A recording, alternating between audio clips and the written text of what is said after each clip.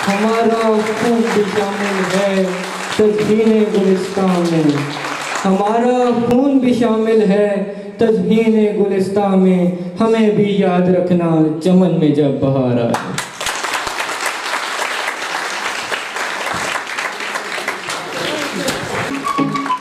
वैसे हमें अपने शहीदों को याद करना चाहिए हर प्लेटफॉर्म पे, हर जगह पे, क्योंकि जो पाकिस्तान हासिल किया गया है, उसके पीछे नेक्स्ट परफॉर्मेंस की जानी, वैसे आज जो परफॉर्मेंस होने जा रही है, सुबह से जो पहले मुझे तंग कर रहा है, ठीक है, यहाँ पे होस्टिंग के लिए कभी कभी पता नहीं किधर से आ नहीं है कि मैं बाँध कर आया हूँ, लेकिन फिर भी आ गया है। वैसे वो है बड़ा टैलेंटेड आदमी है और उभरता हुआ मोटिवेशनल स्पीच तो आइए देखते हैं वो आप उसकी मोटिवेशनल स्पीच के सुबह से तो आपने उसकी होस्टिंग देख ली, लेकिन आपने उसकी मोटिवेशनल स्पीच नहीं देखी। So huge round of applause for Ehsan please come on stage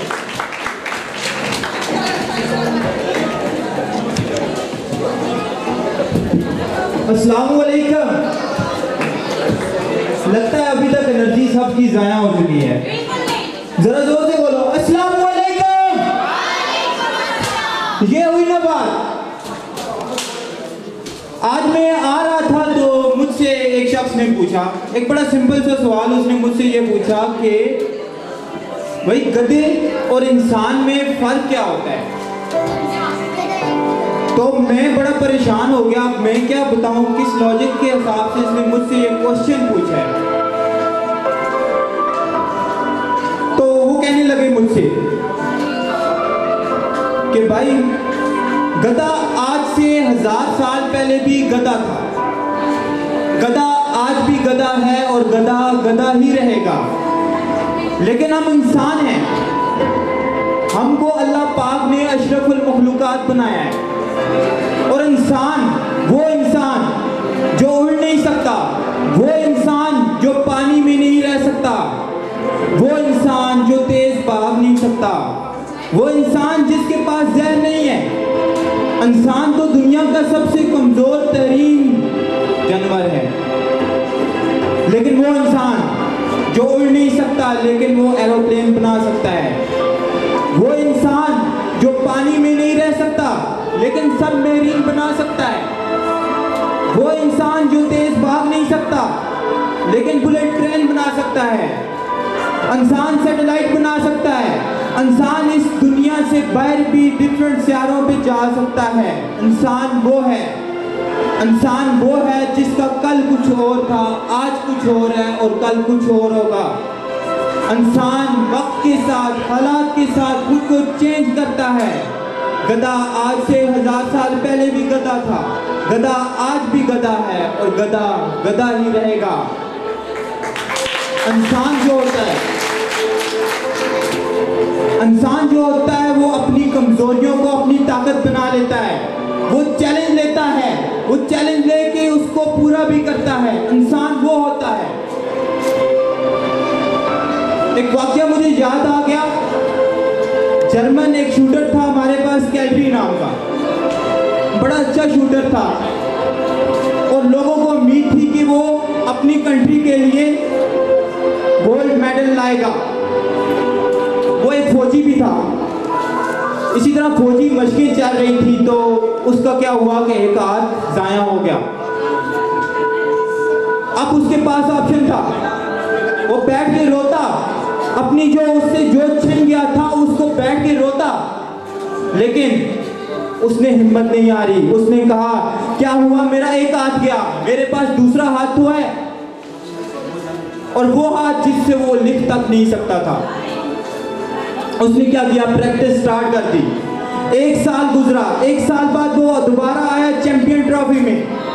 और लोगों ने उसे देख के कहा, कैलरी, तुम कितनी हिम्मत वाले हो? कि तुम हमें दाद देने आए हो? उसने कहा, मैं दाद देने नहीं आया। मैं आया हूँ तुम लोगों से लड़ने, तुम लोगों से फाइट करने। और वो लड़ा। और जीता कौन? कैलरी। उसका नेक्स्ट टारगेट था ओलंपिक लेकिन क्या हुआ? ओलंपिक्स क्या हुई? डिले हो गई वर्ल्ड वार की वजह से।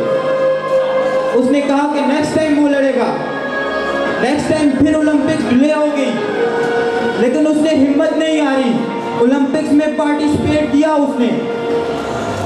और वहाँ पे वर्ल्ड के बेस्ट शूटर थे हमारे पास। और जीता कौन? ऑफकोर्स कैलरी वो यहाँ भी नहीं रुका। उसने कहा कि वो नेक्स्ट टाइम फिर लड़ेगा। और वो फिर नेक्स्ट टाइम लड़ा ओलंपिक्स में। और जीता कौन? कैलरी और ये ओलंपिक्स की हिस्ट्री में फ़र्स्ट टाइम हुआ कि कोई बंदा दो दफ़ा लगातार गोल्ड मेडल जीता। और ये होता है जुनून। ये होती है हिम्मत कि उस बंदे को देखो। उस बंदे ने अपनी कमज़ोरी को अपनी कमज़ोरी नहीं बनने दिया। उस बंदे ने अपनी कमज़ोरी को अपना ताकत बना लिया। और ये मेरा सब कुछ बताने का मकसद यही है कि आप लोग भी नलायक कोई भी नहीं होता। ये बात मेरी याद रखो। आपको स्टडी पॉइंट ऑफ़ व्यू से कोई कहे, मैं तुम नलायक हो, नलायक नहीं हो आप। वीक ज़रूर होता है इंसान। अपनी वीकनेस को अपनी ताकत बना लो। अपनी वीकनेस को अपनी ताकत बनाओ और अपनी वीकनेस पे काम करो। अगर कैलरी कर सकता है, वो बंदा जिसका वो हाथ ही नहीं था और दूसरा हाथ जिससे वो लिख तक नहीं सकता था तो आप लोग भी कर सकते हो। आप लोग सही सलामत हो। इसलिए जब कभी भी कोई भी मौका आए, आपने हिम्मत नहीं हारनी। अपनी वीकनेस को अपनी ताकत बनानी है। फ़ील्ड है पैरामेडिक्स की। इस फ़ील्ड में आप आगे जाओगे, जब प्रोफेशनल लाइफ में जाओगे तो ये बात याद रखना, हमेशा पॉजिटिव सोचना है पॉजिटिव रहना है। पैसे के पीछे नहीं भागना। अपनी जानों को, ये फ़ील्ड ऐसी है, अपनी जानों को गरीबों के लिए, दूसरों के लिए वक्त कर देना है। और देखना फिर, कैसे तुम लोगों को दिली खुशी और कैसे कामयाबी शुक्रिया। और होस्टिंग स्टार्ट करो। थैंक यू सो मच बहुत शुक्रिया। कल साहब का कि उन्होंने इस तरह का इवेंट अरेंज किया और हम सबको बोलने का मौका दिया। थैंक यू वैसे अच्छी बातें तो सबको आती हैं लेकिन जब आपको किसी की अच्छी बातें और बल्कि बुरी बातें अच्छी लगने लग जाए तो समझ जाओ आपको प्यार नहीं। बल्कि आपको जलील होने की आदत पड़ गई है। ये बात है। तो और वैसे भी वैसे भी कहते हैं कोई मर नहीं जाता इंजेक्शन से पराज। कोई मर नहीं जाता इंजेक्शन से पराज। बस उठने बैठने का अंदाज बदल जाता है। वाह क्या बात है। चले आए नेक्स्ट परफॉर्मेंस की जानब पढ़ते हैं जो कि हॉस्पिटल स्टाफ के ऊपर है कि वो कैसे रिएक्ट करते हैं ड्यूरिंग पेशेंट के साथ। तो आइए देखते हैं हॉस्पिटल स्टाफ की टीम काइंडली आप स्टेज पे आ जाए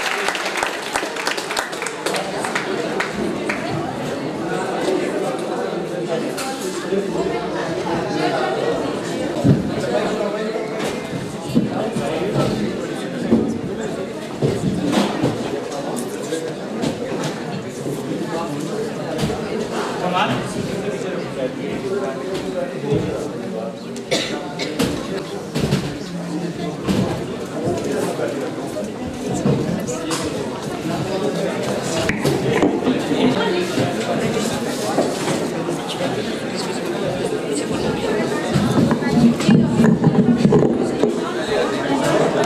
अनाउंसमेंट सुनी है कि ये फैजान खान कौन है? उनका वायलेट गिर गया है वॉशरूम में।